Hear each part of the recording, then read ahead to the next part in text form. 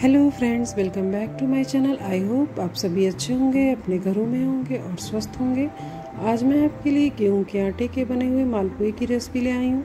इसमें मैं चीनी की चाशनी का यूज़ नहीं करूँगी, ये बहुत ही हेल्दी ऑप्शन है। इसमें मैं गेहूँ के आटे का यूज़ करूँगी।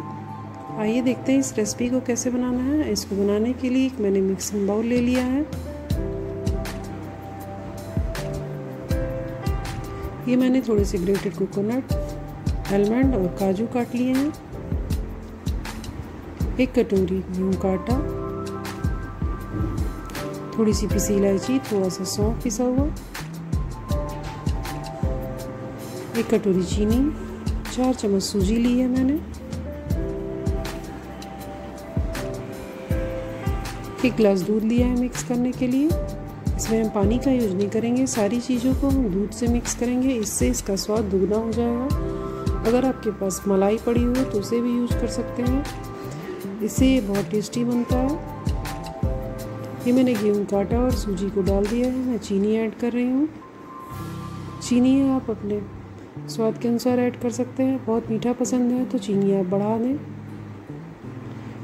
ये मैं दूध डाल रही हूँ। इन सारी चीज़ों को हम दूध से ही मिक्स करेंगे। इसमें मिक्सचर में पानी का यूज़ हम नहीं करेंगे। इससे हमारे मालपुए का टेस्ट बहुत ही अच्छा आएगा।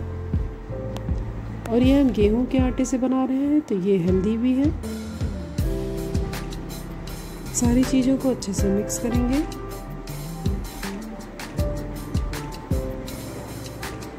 थोड़ा थोड़ा दूध डालकर सारी चीज़ों को अच्छे से मिक्स कर लें। और इसकी एक बैटर के तरीके की कंसिस्टेंसी चाहिए हमको। इसमें मैं मीठा सोडा या कोई भी चीज़ ऐसा नहीं ऐड करूँगी। सब नेचुरल चीज़ों से ये बनेगा। ये मैं कोकोनट पाउडर डाल रही हूँ और अपने डिज़ायरेबल ड्राई फ्रूट सारे। थोड़ा सा बादाम और काजू ऐड कर दिया है। सबको अच्छे से मिक्स कर लें।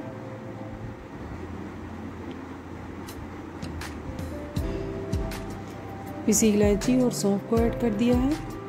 सौंफ और पिसी इलायची से इसका स्वाद बहुत ही अच्छा आता है और खुशबू भी बहुत अच्छी आती है।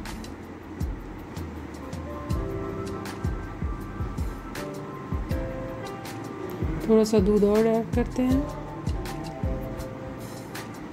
बहुत गाढ़ा पेस्ट नहीं बनाना है, बहुत ना बहुत पतला बनाना है। सारी चीज़ों को अच्छे से मिक्स कर देना है।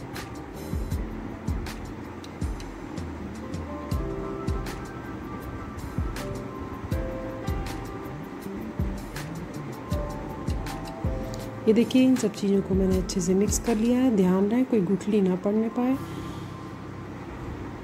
सारी चीज़ों को अच्छे से मिक्स कर लें। लम से एकदम ना पड़े। अच्छे से मिला लें।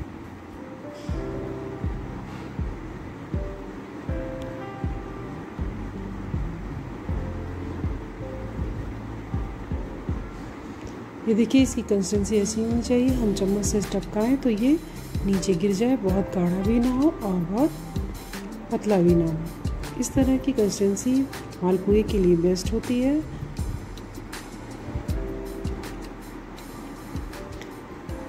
सारी चीज़ों को मिक्स करने के बाद लगभग इस तरीके का आपको दिखेगा।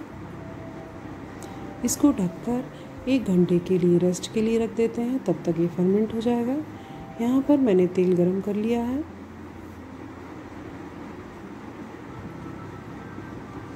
आपको यहाँ पर मोटे तले का पैन लेना है। और बहुत चौड़ा पैन लेना है, ज़्यादा छिछली, छिछला बर्तन नहीं लेना है, बहुत गहरी कढ़ाई नहीं लेनी है। इस तरीके का चौड़ा पैन होगा तो आपका मालपुआ अच्छे से फैल कर अच्छे से फ्राई होगा। कढ़ाई में अच्छे से फ्राई नहीं हो पाएगा। इसमें आपको बनाने में आराम रहेगा, इसको अच्छे से फैलाकर। गैस की फ्लेम को हम एकदम लो ही रखेंगे। और बैटर आपको थोड़ा थोड़ा ही डालना है, जिससे आपके मालपुए पतले बने। बहुत ज़्यादा एक बार में डाल देंगे तो आपके मालपुए जो है मोटे मोटे बनेंगे और खाने में टेस्टी नहीं लगते हैं।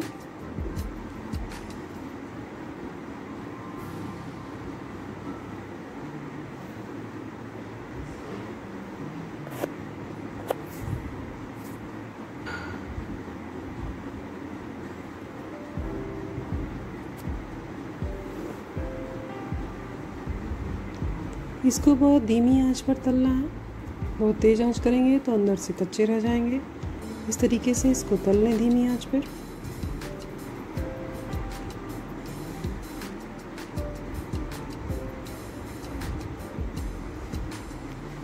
ये बिना चसनी का है और गेहूँ के आटे का है तो बहुत ही हेल्दी है।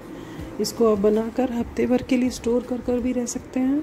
और अगर आप कहीं लॉन्ग जर्नी पर जा रहे हैं तो इसको खाने के लिए भी आप अपने टिफ़िन बॉक्स में रख सकते हैं। एक हफ़्ते तक ये ख़राब नहीं होते हैं।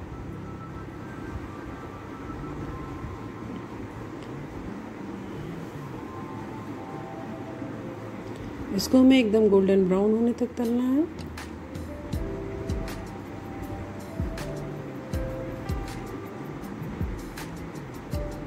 ऐसे ही नेक्स्ट बैच को भी तल लेंगे।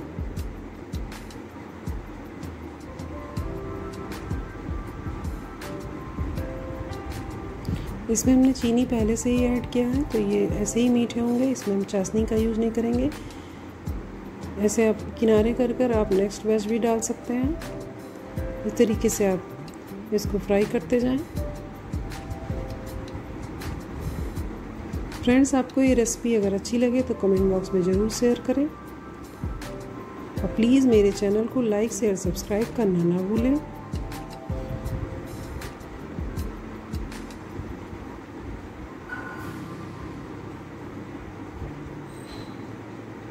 ऐसे ही बाकी को भी तल लेते हैं।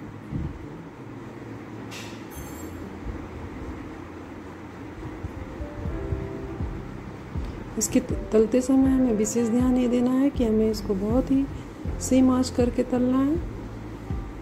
ये देखिए, हमारे मालपुए रेडी हो गए हैं।